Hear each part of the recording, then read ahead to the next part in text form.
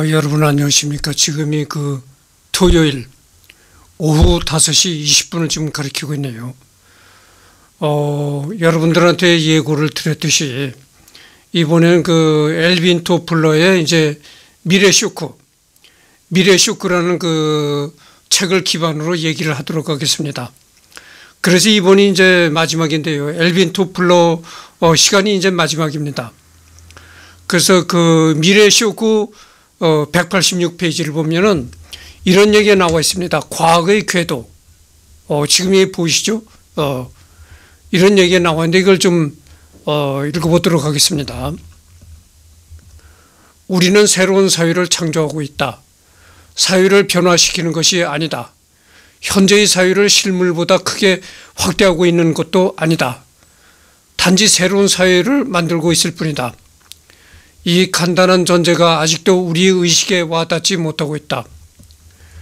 그러나 이 점을 이해하지 못하는 한 우리는 내일에 대응하려는 노력을 스스로 와해시키고 말 것이다.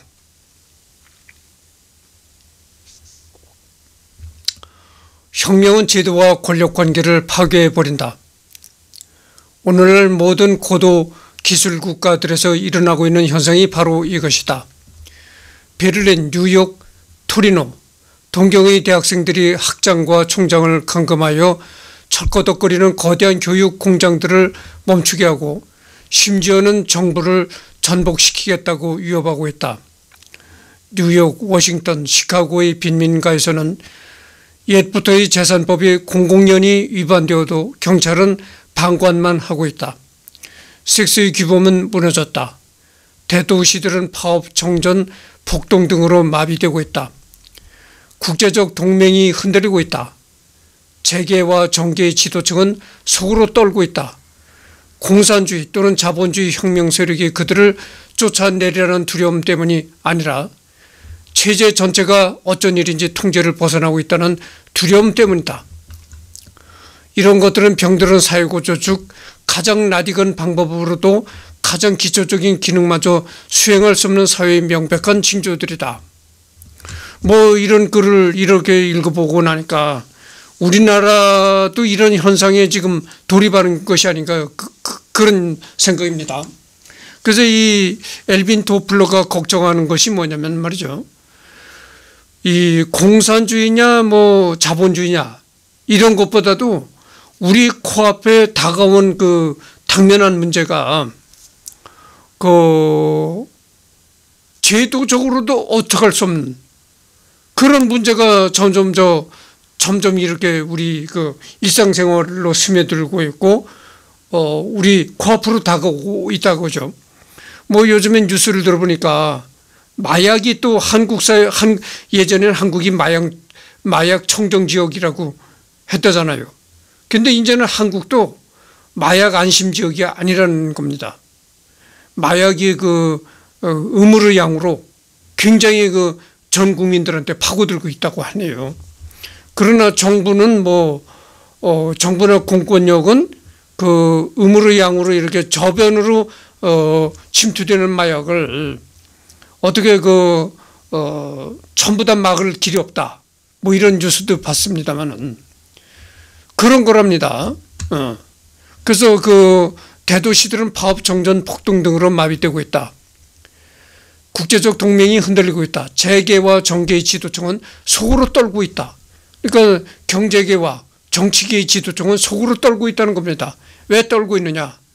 공산주의 뭐 자본 어 자본주의 이런 혁명 때문에 떨고 있는 것이 아니고 어? 체제 전체가 어쩐 일인지 통제를 벗어나고 있다는 두려움 때문이다. 그러니까 뭐 체제가 정확히 그, 그 통제를 못하고 있다 이런 얘기죠. 그래서 뭐 그런 틈을 타서 마약이 범람을 하고 어 그다음에 뭐 일상의 섹스 규범이 무너지고 어 동성애가 범람하고 이렇, 다는 얘기죠. 그러니까 사회 전체가 사회 전체가 이제 막가파 사회로 가고 있다 이런 얘기죠. 그런 막가파 사회를 정치계 인사나 경제계 인사들이 가장 두려워하고 떨고 있다 이런 이런 얘기입니다. 이런 것들은 병들은 사회구조, 즉 가장 낯익은 방법으로도 가장 기초적인 기능마저 수행할 수 없는 사회의 명백한 징조들이다. 그것은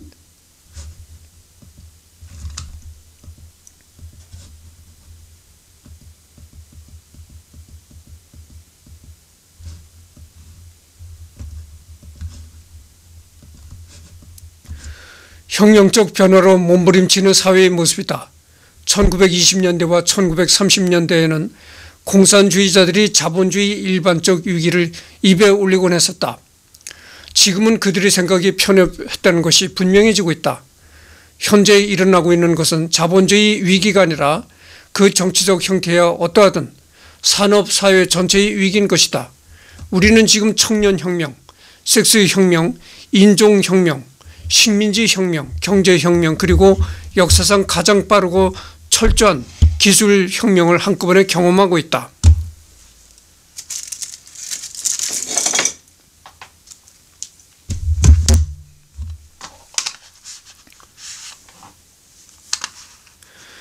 우리는 지금 산업주의 일반적 위기를 이겨내고, 이겨내고 있다.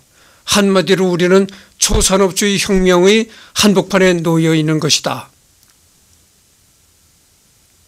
아, 이 사실을 파악하지 못하면 현실 이해 능력이 손상되면 물론이고 현명한 사람들조차도 미래를 논할 때 완전한 무지를 드러내게 된다. 그렇게 되면 사람들은 단순히 직선적인 사고만을 하게 된다. 이런 사람들은 올나라의 관료주의적 증상을 들어 내일은 관료주의가 더 심해질 것이라고 소박하게 생각한다.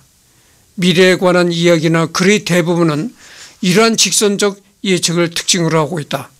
그것은 우리에게 또 정반대 일을 걱정하도록 만들기도 한다.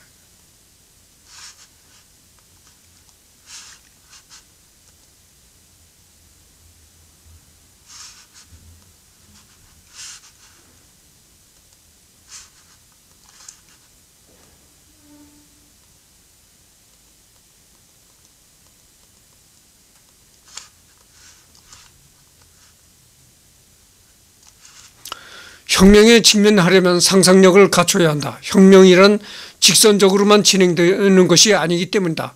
혁명은 갑자기 움직이기도 하고 뒤틀리기도 하고 뒷걸음치기도 한다. 그것은 비약의 형태를 취하기도 하고 변증법적 전환의 형태를 취하기도 한다. 우리가 지금 전혀 새로운 경제 기술적 발전 단계, 초산업주의적 단계를 향해 달려가고 있다는 전제를 받아들이지 않는 한 우리는 이 시대의 의미를 이해할 수 없다.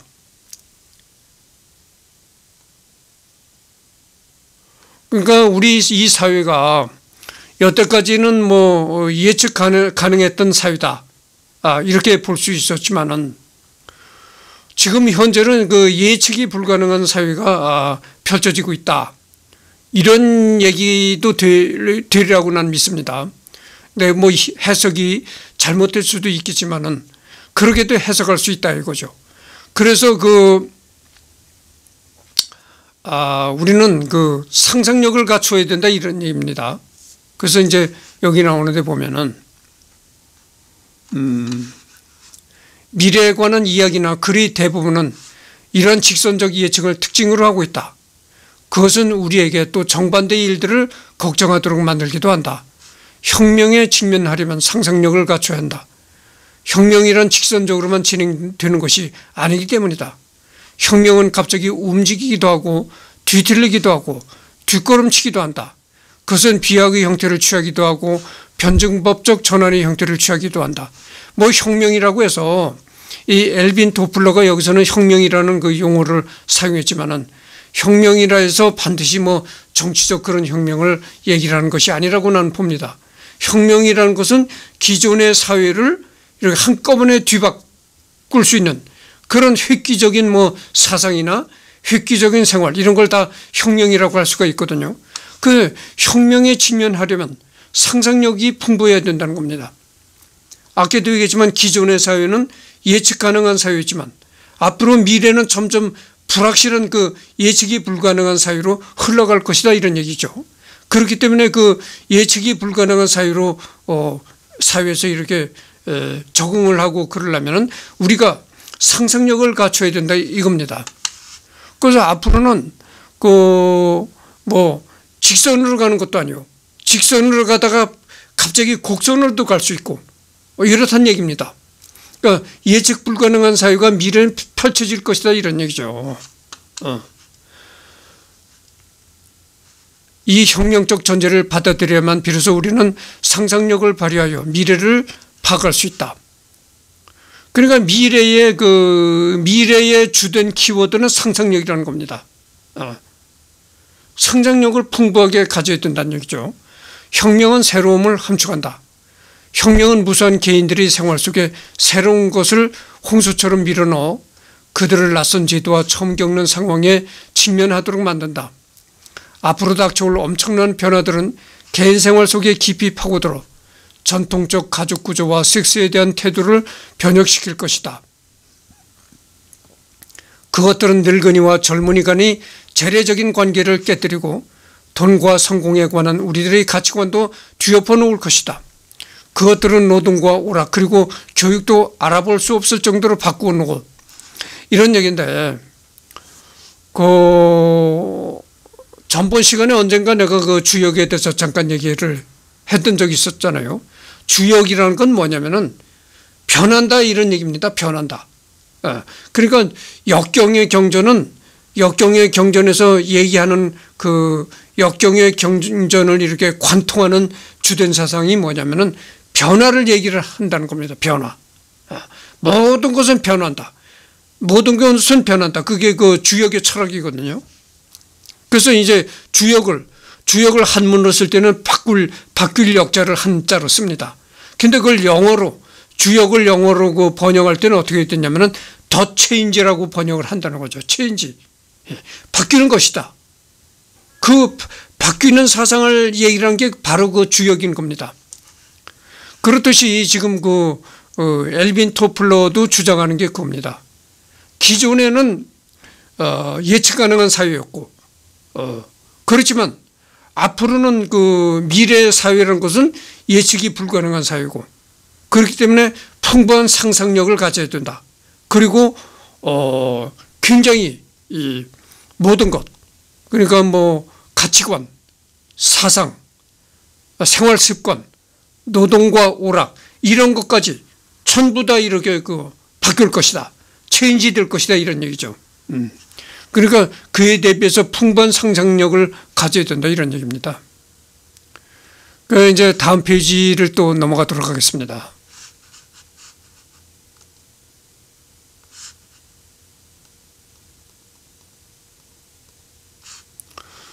여러분 이런 얘기를 하니까 뜬구름 잡는 얘기 아니냐 아, 이렇게 생각할 수도 있을 것입니다. 그러나 하여튼 이런 얘기들이 뭐 뜬구름 잡는 얘기 같이는 들리겠지만 이런 얘기들이 세계 사람들한테 어필하게 된 겁니다. 그래서 그 엘빈 토플러가 세계적인 유명한 사람이 된 겁니다. 또한 이러한 변화들은 모두 엄청나고도 우아한 그러면서도 놀라운 과학적 진보의 맥락 속에서 일어나게 될 것이다. 일시성이 새로운 사회를 이해하는 첫 번째 열쇠라면 새로움은 그 두 번째 열쇠다. 그러니까 미래는 어, 미래는 일시성과 새로움 그것이 중요한 그 어, 미래를 이 이렇게 세워 세워가는 그런 두 기둥이 될 것이다 그런 얘기입니다. 미래는 기, 기괴한 사건, 감동적인 발견, 터무니없는 분쟁 그리고 전혀 새로운 딜레마 등의 끊임없는 연속으로 펼쳐질 것이다. 음. 그래서 미래는 말이죠. 기괴한 사건, 어, 감동적인 뭐 어떤 그 어, 사건, 그리고 뭐 터무니없는 그 어, 논리에 맞지 않는 분쟁, 뭐 이런 것이 그 음, 자꾸 나타나 가지고 그 지구인들이 지구인들이 굉장히 그 어, 가치관의 그 혼란 또는 딜레마 이런 것에 빠질 것이다 이런 얘기입니다. 이것은 초산업사회에서 수많은 사람들이 결코 편안함을 느끼지 못하리라는 것을 의미한다. 마치 낯선 나라에서 거처를 정해 일단 안정되었다 싶으면 다시 이 나라 저 나라로 옮겨 다녀야 하는 여행자처럼 우리는 낯선 땅의 이방인 같은 느낌을 가질 수밖에 없을 것이다. 초산업주의 혁명은 굶주림, 질병, 무지, 야만성 등을 퇴치할 수 있을 것이다. 여기서 이제 미래 그 엘빈 토플러는 미래를 그 초산업주의라는 말을 지금 쓰고 있는 겁니다. 어. 미래는 지금은 산업주의잖아요. 근데 미래는 그 산업주의를 뛰어넘는 초산업주의가 될 것이다 이런 얘기입니다. 그래서 이제 그 천합 어, 초산업주의 혁명은 굶주림, 질병, 무지, 야만성 등을 퇴치할 수 있을 것이다. 더구나 직선적 사고방식을 가진 사람들의 비관적 예언에도 불구하고 초산업주의는 인간을 속박하지도 않고 인간을 황량하고 고통스러운 획일적으로 몰아넣지도 않을 것이다.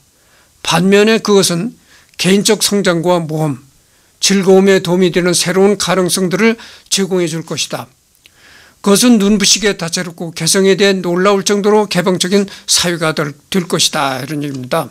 그러니까 미래의 초산업주의 시대는 굉장히 놀라울 정도로 어, 사회가, 사회가 이제 개방적인 사회가 될 것이다. 이런 얘기고. 어, 또한 그렇게 굉장히 개방적인 사회가 됨에 따라서 인간을 속박하지 않는다. 그런 얘기죠. 네, 이런 얘기입니다. 인간이 통제와 표준화 속에서 살아남을 수 있느냐 하는 것이 문제가 아니라 후수라는 바와 같이 인간이 자유 속에서 살아남을 수 있느냐 하는 것이 문제로 될 것이다. 그렇다고 하더라도 인간은 지금껏 한 번도 한 번도 진정으로 새로움으로 충만한 환경에서 살아본 적이 없다는 데 문제가 있다. 여러 가지 생활 상태가 다소간이라도 낯익을 때는 생활 속도가 가속화한다는 것이 큰 문제가 되지 않는다.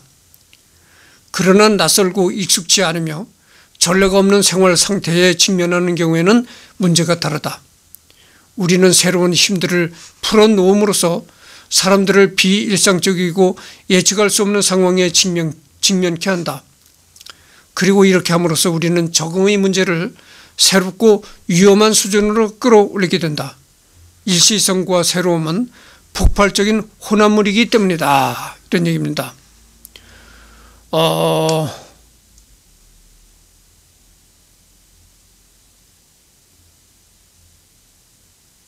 그래서 이제 미래는 말이죠.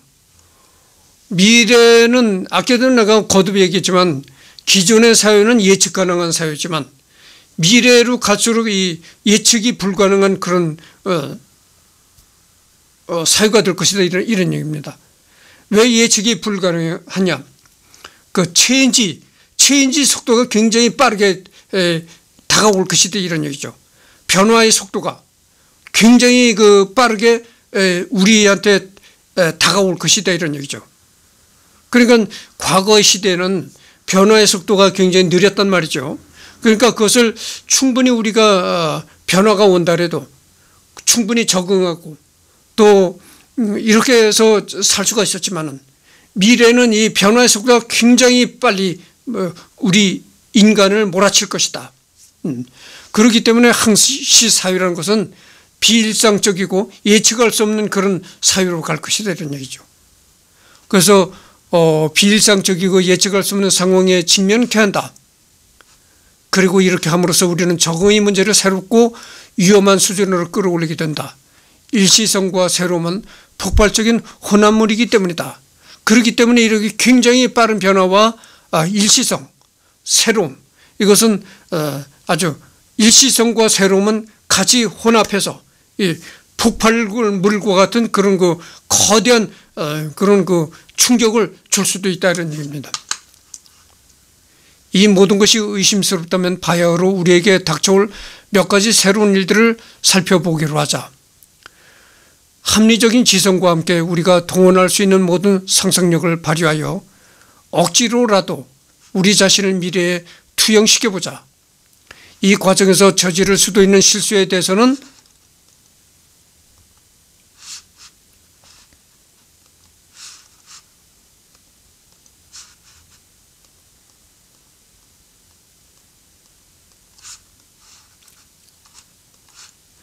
그러니까 미래에 대해서 우리가 한번 생각해 보자 이런 얘기죠.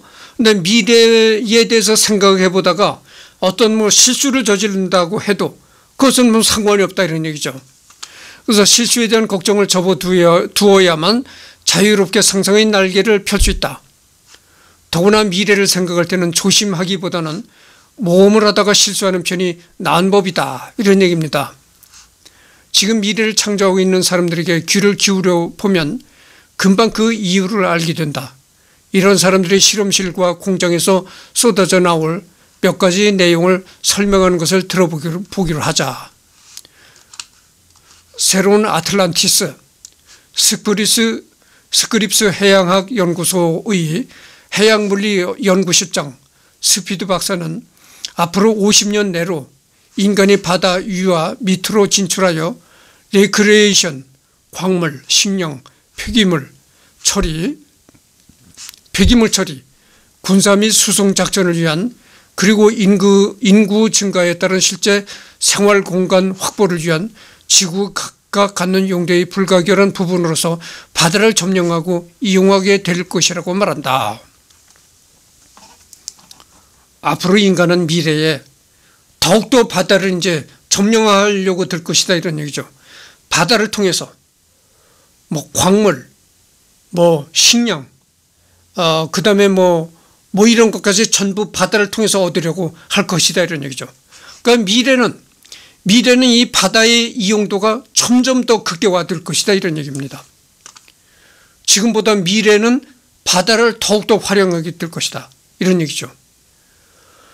지구 표면의 3분의 2는 바다로 덮여 있으며 이 물에 잠긴 땅 중에서 제대로 어, 지도가 작성된 부분은 겨우 5%에 불과하다.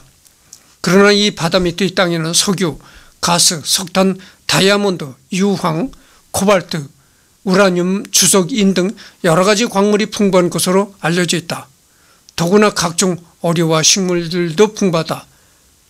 이 바다 밑은 이 바다 밑은 그 광물이 굉장히 풍부하다는 얘기입니다.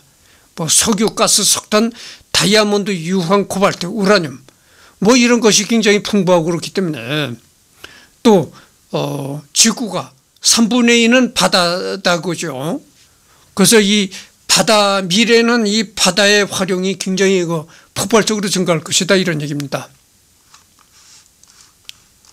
이 거대한 보고가 지금 엄청난 규모로 개척 개발되려 하고 있다. 오늘날 미국에서만 해도 스탠더드 오일사와 유니언 카바이드사 거대한 회사들을 포함하여 600개 이상의 업체가 어마어마한 해저 개발 경쟁에 뛰어들 준비를 하고 있다. 이 경쟁은 해가 갈수록 치열해져 사회에 광범한 영향을 미치게 될 것이다. 바다 밑바닥과 이를 덮고 있는 해양 생물을 누가 소유할 것인가? 해양 광업이 경제적 타당성과 재산성을 갖추게 되면 국제적인 자원 균형도 달라질 것으로 예상할 수 있다. 이미 일본은 해저 광산에서 매년 천만 톤의 석탄을 캐내고 있으며 말레이시아, 인도네시아,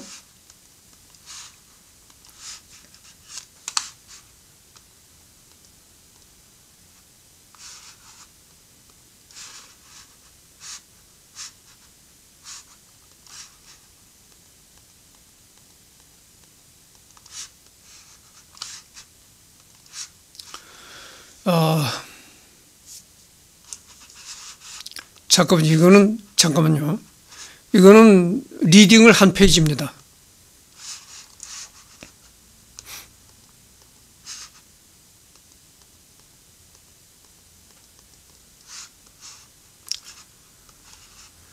등에서도 이미 바다에서 주석을 캐내고 있다. 얼마 안 있으면 해적 구획들을 차지하기 위해 각국이 전쟁을 벌일지도 모른다.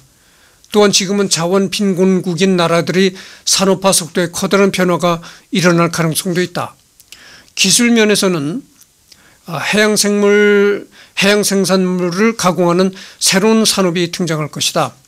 그 밖의 다른 나라들은 심해 초사선, 인명구조용 잠수정, 전자 어군 탐지기 등 바다에서 작업하기 위한 정교하고 값비싼 장비들을 생산할 것이다. 이 분야의 폐용화 속도가 빨라질 것이다. 이러한 경쟁으로 기술 혁신의 가속화가 한층 더 촉진될 것이다. 문화면에서는 새로운 단어들이 급속한 속도로 언어에 흘러들어 올 것으로 예상할 수 있다. 농업이라는 말과 함께 해양 식량 자원이 과학적 경작을 의미하는 수중농업이라는 용어가 정착될 것이다. 뭐 이렇게 수중농업, 어, 식량 자원을 확보하기 위한 바다에서 바다 그 수면 하에서도 이제 농업이 형성이 될 것이다 이런 얘기죠. 음. 이것은 뭐 엘빈 토폴러 아니래도 지금 현재라도 그런 일을 하고 있잖아요. 뭐 어, 우리나라 그 저 남쪽 남해 지방에 가면은 그 미역, 김 이런 걸 양식을 하잖아요. 바다에서 양식을 한다면 인공적으로 재배를 한단 말이죠. 그래서 바다에서 인공적으로 재배를 해가지고 그걸 우리가 우리 식탁에 올라오는 얘기죠. 그러니까 벌써 이 뭐 엘빈 토플러가 어 말하기도 전에 이미 그것은 우리 한국 같은 데서는 이미 벌써 실행이 되고 있는 겁니다. 그러니까 엘빈 토폴러가 말하는 건 그겁니다. 앞으로 미래 사회는 이 바다 밑에서도 활발하게 이제 농사가 될 것이다 이런 얘기죠. 아, 우리가 먹을 수 있는 먹, 먹을거리 농사가 이 바다 밑에서도 어, 활발해질 것이다 이런 얘기인데 그게 바, 그, 그런 식으로 얘기를 하면은 우리나라는 이미 벌써 뭐 김양식, 미역 양식 뭐 이런 게 실질적으로 지금 현실적으로 나타, 나고 있는 겁니다. 물리라는 용어도 전혀 새로운 의미를 함축하게 될 것이다. 시, 미술, 영화 등 예술 분야에서도 새로운 단어와 함께 여러 가지 새로운 상징들이 나타나게 될 것이다. 해양생활 형태를 표상하는 것들이 그래픽이나 산업 디자인에 등장할 것이다. 패션도 해양에 대한 의존을 반영할 것이다. 새로운 섬유, 새로운 플라스틱 등 새로운 재료들이 발견될 것이다. 징병을 고치거나 정신 상태를 바꿀 수 있는 새로운 의약품들이 나타날 것이다. 그러죠. 뭐 이거는 뭐 새로운 플라스틱이라는 거는 어 그, 여태까지는 플라스틱이 썩지 않았단 말이죠. 그래서 뭐 해양을 오염시키고 지구를 오염시킨다 했는데 최근에는 이 부, 부패가 돼서 썩는 플라스틱을 만들어낸다는 것입니다. 그러니까 뭐, 어, 그런 플라스틱 나오고 또 새로운 섬유라는 건 뭐냐면은 그 투명. 여러분 그 해외 토픽이나 뭐 어, 이런 데서 투명 망토라는 얘기를 들어보셨죠? 그 투명 망토라는 건 뭐냐면은 그 투명한 옷, 실로 이렇게 옷감을 짠 그런 옷감을 입으면은 어, 안 보인다는 얘기죠. 어. 그러니까 그, 그런 건 이제 그 이 군사 전쟁 이렇게 국방에 쓰이는 이 과학이 될 것이죠. 음. 그래서 뭐 얼마 전에 미, 미 미국에서는 미 육군 그 군복이 말이죠. 어. 투명 옷으로 어떻게 그 군복을 만들 수 없느냐. 지금도 아마 연, 이 대대적으로 이거를 연구 중에 있다고는 봅니다. 가장 중요한 것은 해양 식량에 대한 의존도가 증가하면 수많은 사람들의 영양 상태가 달라지리라는 점이다. 이 변화 자체만으로도 헤아릴 수 없는 중요한 의미를 수반한다. 그 내가 아까 그 김양식 미역 양식을 얘기를 했잖아요. 이 서양 사람들은 말이죠. 이 김이나 미역을 먹지를 않는다는 그동안 김이나 미역을 전혀 먹지를 않았답니다. 그런데 이, 이 한국이나 뭐 일본 이런 동양 사람들이 이렇게 이 김이나 미역을 먹는 걸 보고 처음에는 깜짝 놀랐는데 그 사람들도 이제는 그 한국이나 일본 이런 데서 만드는 김, 미역 이런 게 그 서양에도 지금 그 많이 그 마트에서도 팔리고 그런답니다. 그러니까 그 사람들도 이제 김의 맛을 들이고 어, 미역의 맛을 드린다 이거죠.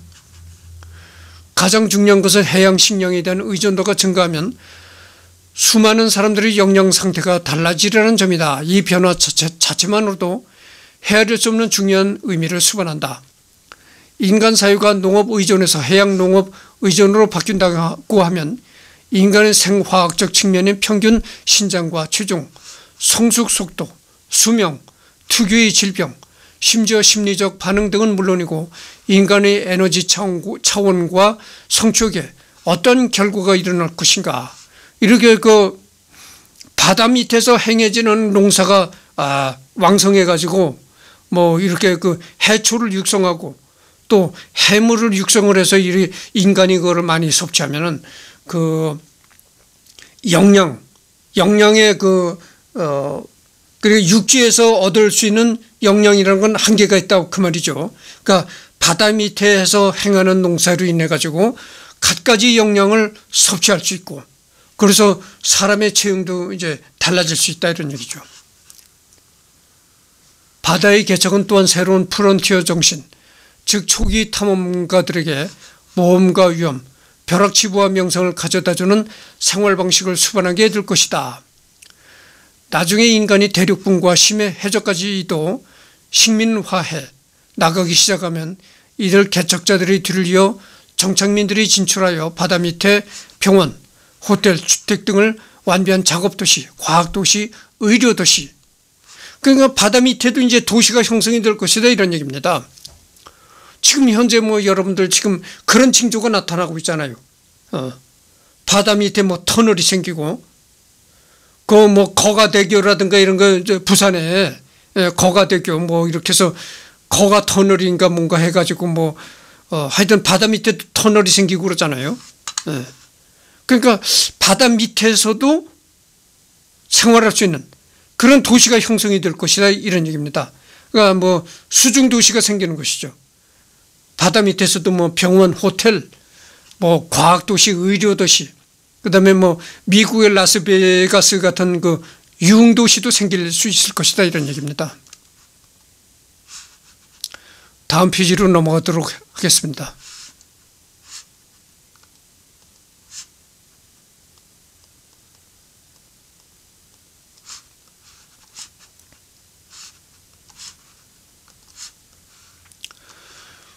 그래서 이, 이 페이지를 보면 이런 얘기가 나옵니다. 이 모든 것이 너무 동떨어진 소리처럼 들릴지도 모르지만 지금 현재는 이런 얘기들이 뭐, 어, 꿈만 같이 들릴지도 모르겠지만 이 사람은 벌써 그 세상을 떠난 지가 좀 시일이 지났거든요. 그러니까 지, 금 우리가 생각하기에는 이런 것들은 충분히 예상할 수 있는 것인데 이 엘빈 토플러가 살았을 때만 해도 어, 예상하기 힘든 얘기였다 그런 거죠.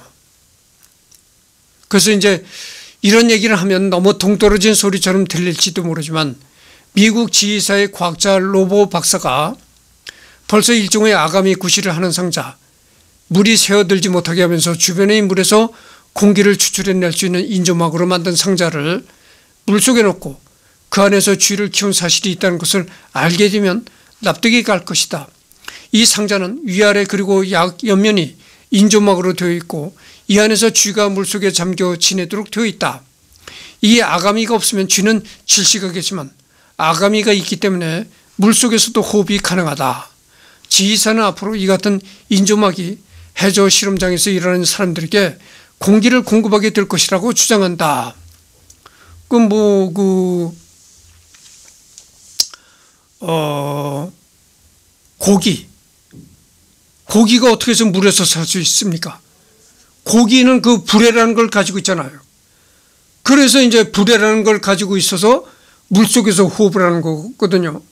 그런데 그 인간은 불에가 없기 때문에 이 물고기와 같이 불에가 없기 때문에 물 속에서 이제 숨을 쉴 수가 없는 거죠.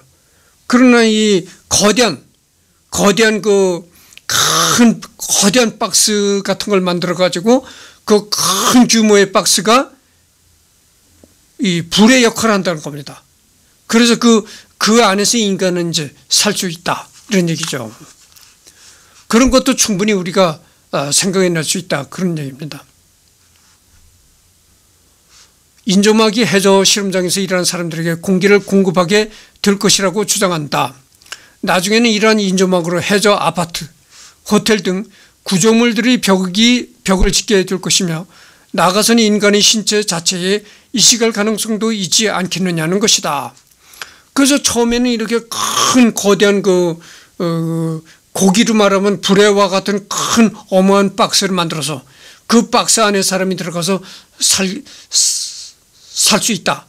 이런 것을 상상해 볼 수도 있지만 또 더 발전이 되면 인간 몸에 인간 몸에 이 물고기와 같은 불해를 삽입시킨다는 겁니다. 인공적으로.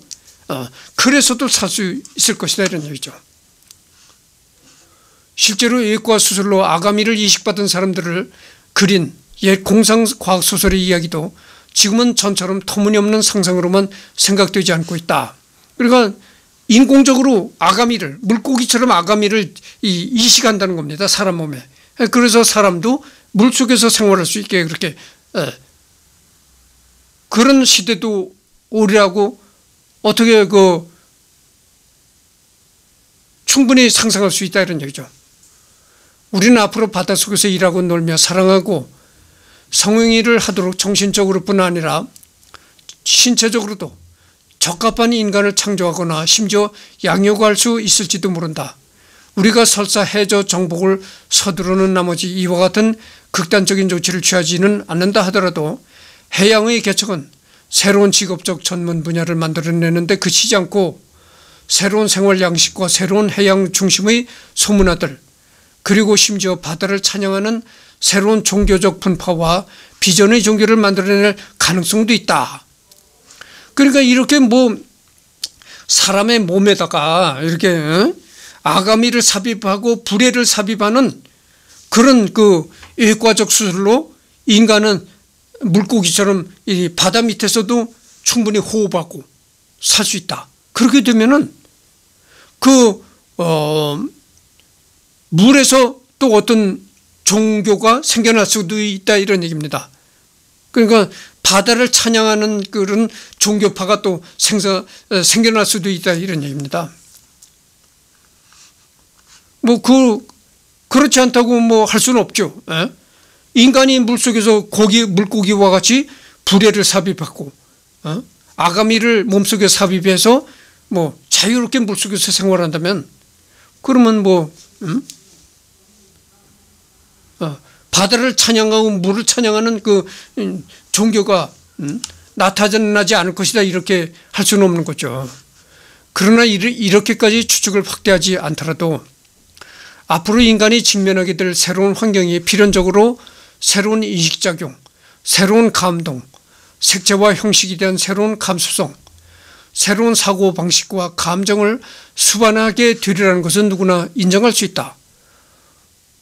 더구나 우리가 서기 2000년이 되기 훨씬 전에 그 첫 번째 파도를 목격하게 될 바다의 정복은 현재 서로 밀접한 관계를 가지고 급속도로 진행되고 있는 여러 가지 과학기술, 기술적 추세들, 그 하나하나가 새로운 사회적, 심리적 의미로 충만된 추세들 중의 한 가지에 불과하다.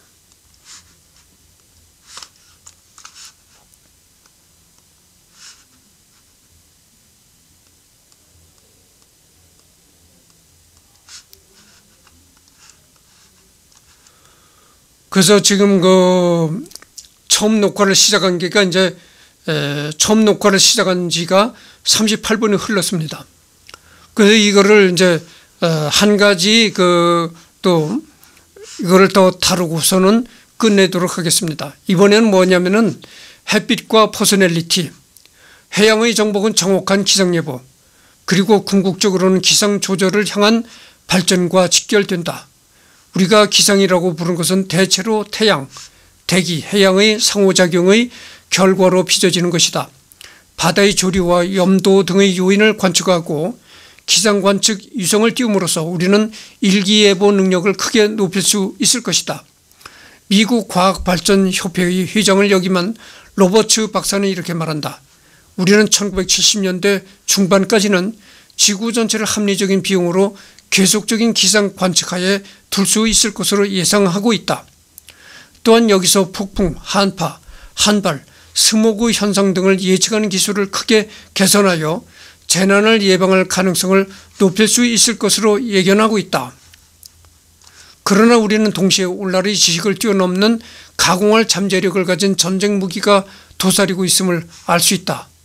소수 강대국의 이익을 위해 적국과 애꿎은 주변 국가들이 피해를 입도록 하는 고의적인 기상 조작이 그것이다.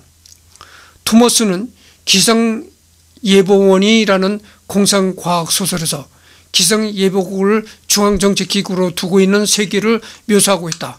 이 기구에서는 여러 나라 대표들이 기상 정책을 수립하며 또는 어떤 지방에 가뭄이 들게 하거나 또 다른 지방에 폭풍우가 불게 하는 등의 포구령을 집행하여 기후를 조절함으로써 사람들을 다스린다. 뭐 이 얘기는 무슨 얘기냐면 우리가 흔히 얘기도 상상할 수 있는 얘기입니다. 기상을 조작한다는 겁니다. 기상을 조작해. 그러니까 기상을 조작한다는 건 뭐냐면은 이 미국이나 뭐, 뭐, 러시아 이렇게 중공처럼 이렇게 거대한 강대국들이 이 거대한 힘을 앞세워가지고 기상을 조작한다는 거죠. 시죠. 예를 들어서 이 높이 올라간 위성이잖아요. 인공위성. 인공위성은 완전히 그, 그 지구의 대기권을 넘어서 떠 있는 겁니다. 응? 그렇잖아요. 지구의 대기권을 벗어난 겁니다. 대기권이라는 건 여러분 아시잖아요. 지구를 이렇게 공기가 뒤덮고 있는 겁니다. 그 지구를 뒤덮고 있는 공기층을 벗어난 게 우주죠. 예. 그냥 우주는 공기가 없다고 하는 걸 그래서 하는 겁니다. 이 지구를 덮고 있는 공기층을 벗어났기 때문에 그 공기가 없어서 숨을 공기가 없는 것이죠. 그래서 지구의 그 어, 공기층을 벗어날 정도로 굉장히 높은 고도에 있기 때문에 그 공기층에서 벌어지는 지구의 기상도 어, 인위적으로 조작할 수, 조작해낼 수 있다고죠. 어. 앞으로 더 과학이 발전되면은 그렇게 충분히 할 수 있다 이런 얘기입니다. 그렇게 기상도 이제 인공적으로 조작해낼 수가 있다 이런 얘기죠. 이처럼 정교한 기상 통제를 한다는 것은 아직 요원한 일일지도 모른다. 그러나 인간이 단순히 하늘이 정해준 일기를 그대로 따르던 시기가 이제 지나갔다는 것만은 의문의 여지가 없다.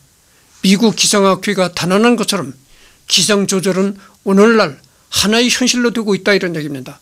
그뭐 어, 지구 온난화, 온난화, 그 다음에 뭐 탄소를 너무 예, 과다하게 배출해 가지고 지구 온난화가 생기고 지구 온난화가 생기다 보니까 이제 북극과 남해의 빙하가 녹아내리고 빙하가 녹아내리다 보니까 이제 해수면이 높아지고 해수면이 높아지다 보니까 여러 가지 부작용이 생기고 지구의 온도가 높아지다 보니까 여러 가지 이제 부작용이 생, 생태계에도 부작용이 생기고 어, 농작물에도 부작용이 생기고 이제 그렇단 말이죠.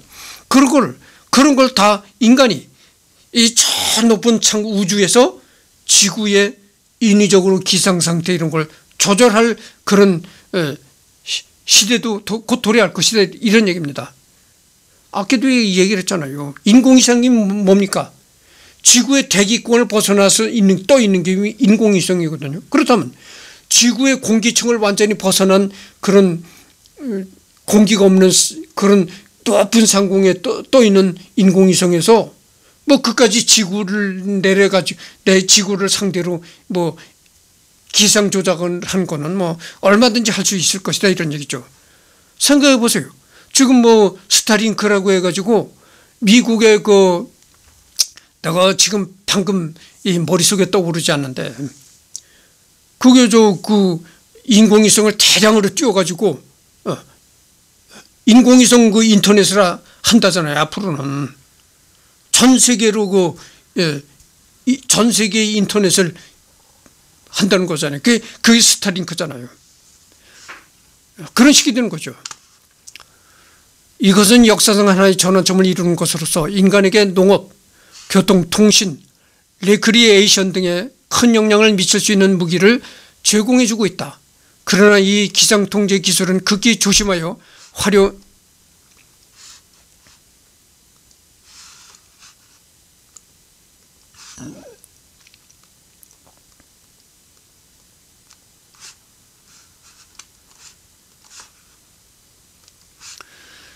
기상통제 기술은 말이죠.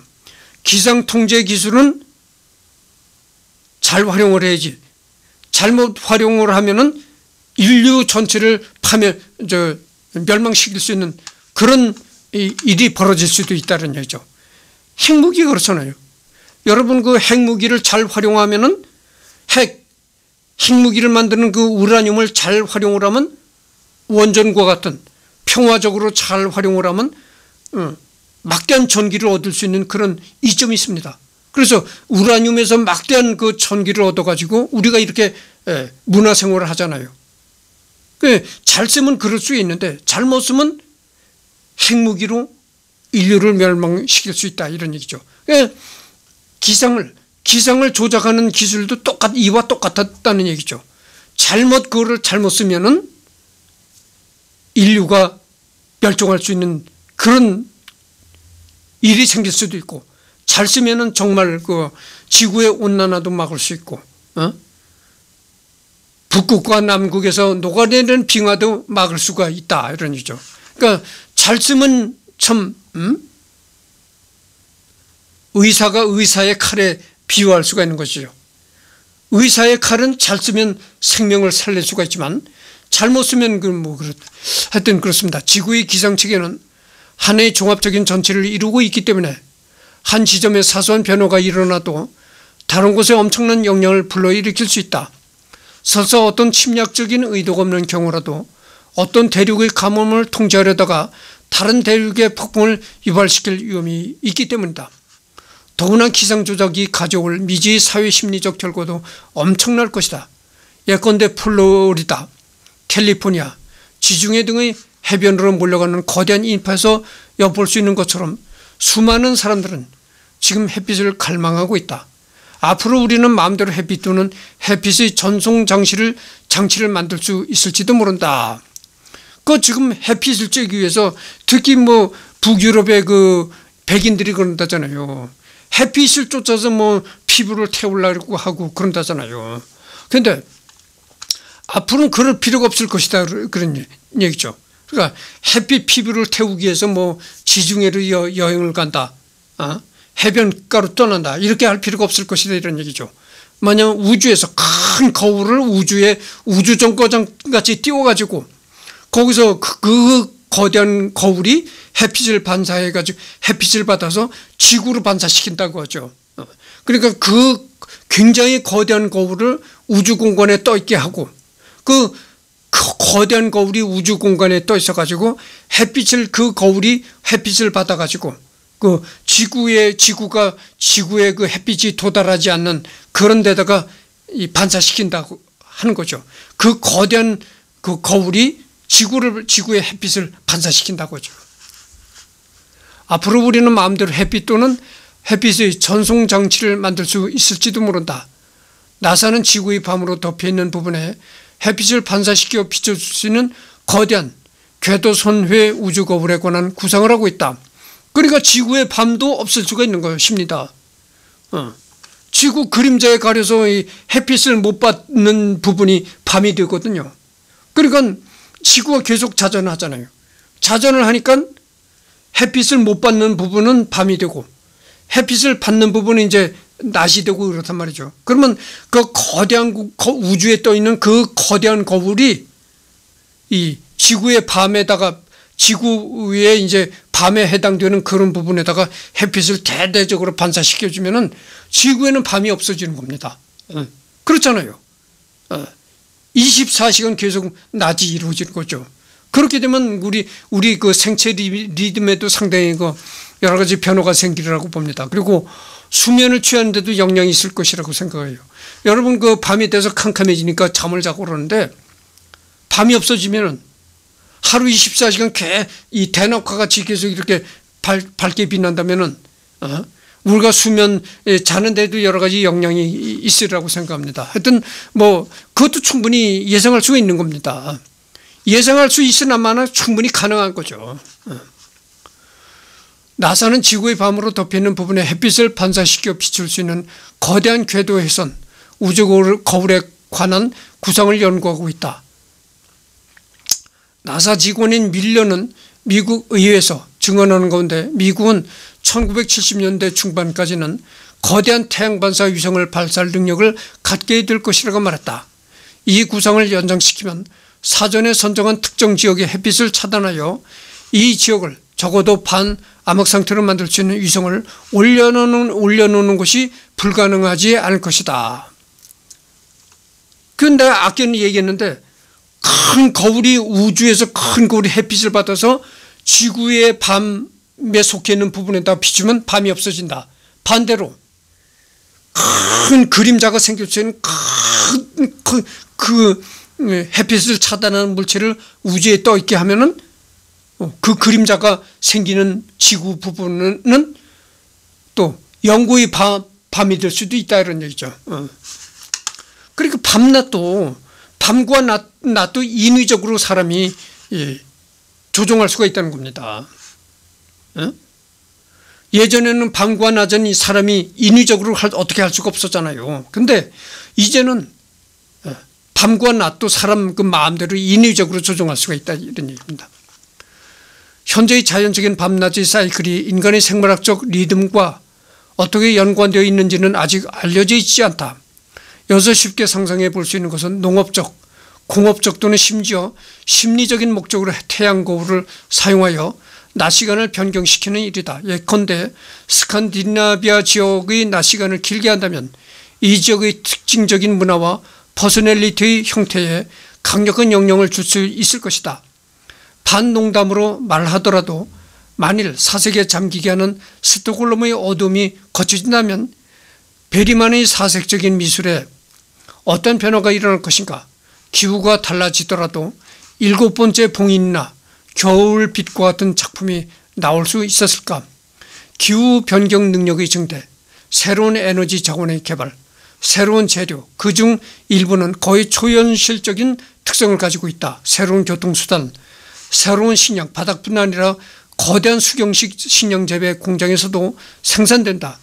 이 모든 것은 앞으로 다가올 가속적인 변화의 성격을 여러분 그 수경 재배라는 거 있잖아요.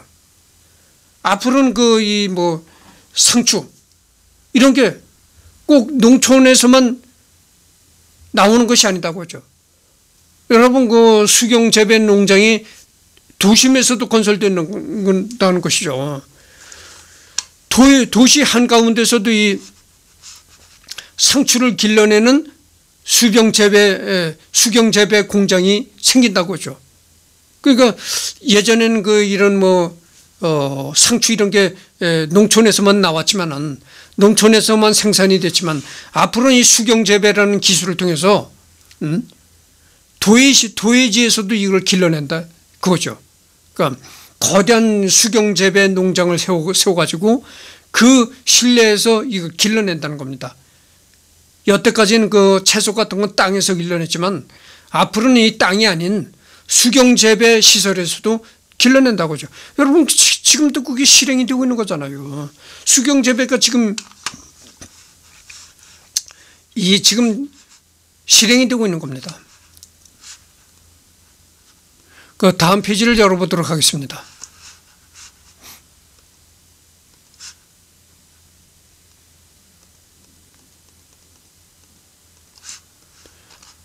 그래서 이제 이걸 보면은 돌고래 소리가 또 나옵니다. 지금 그 이 녹화를 시작한 지가 지금 53분을 경고하고 있습니다. 7분 전 1시간을 이제 경고했는데요. 그래서 뭐, 어, 더 이상 녹화는 이제 끝내려고 합니다. 그리고 이, 이 여태까지 내가 리딩한 것이 어떤 책이냐면은 전번에도 얘기를 했지만 엘빈 토플러가 지은 미래 쇼크라는 책에서 이제 리딩을 한 것이거든요. 근데 여러분들 지금은 그 저작권법이 실행이 되고 있는 겁니다. 그렇기 때문에 남의 책을 책 한 권을 전부 그 인터넷상에서 reading할 수는 없는 겁니다. 그렇잖아요. reading을 한 달에도 극히 일부분 몇 페이지만을 reading하는 것이지 책 한 권을 몽땅 여러 사람이 보는 장소에서 책 한 권을 몽땅 reading을 한다. 그건 안 되는 겁니다. 그래서 그 이쯤에서 리딩을 중단하고 그 엘빈 토플러는 이것으로서 끝을 맺겠습니다. 맺고 뭐 여태까지 이거 지금 이걸 미래 쇼크 이걸 읽어보면은 이게 뭐 크게 뭐 어? 크게 우리가 우리한테 쇼크로 다가올 건 없습니다. 지금 현재 지금 이게 실행이 되는 것도 많거든요. 근데 그 엘빈 토플러가 아마 한창 이게